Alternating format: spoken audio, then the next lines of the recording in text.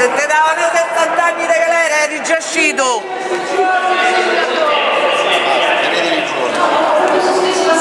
Siamo venuti qui per fare gli auguri al sindaco Marino, perché oggi è il suo compleanno e abbiamo portato anche la tortina e gli abbiamo fatto tanti auguri.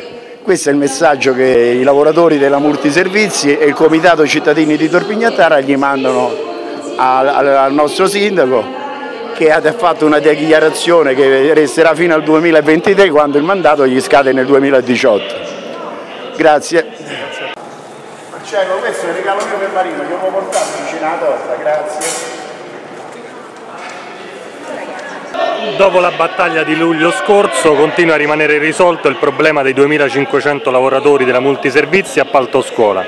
Gara al lotto unico, gara a 5 lotti, gara a doppio oggetto, non si capisce dove, come sempre, in tutte le cose dove questa giunta voglia andare, dove voglia andare a parare. Noi l'abbiamo detto fin da luglio, la soluzione è la reinternalizzazione di questo servizio, però ci dicesse la giunta che cosa vuole fare.